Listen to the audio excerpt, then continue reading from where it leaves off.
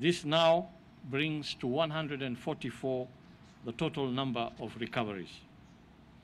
Within the same period, we tested a total of 777 samples from 14 counties.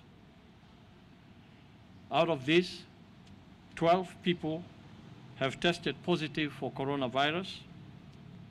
Seven of these are from Mombasa, three from Nairobi, one from Wajir, and one from Kitui. You will note that the case from Wajir is a new one for that county. This brings to 396 the total number of positive cases in the country.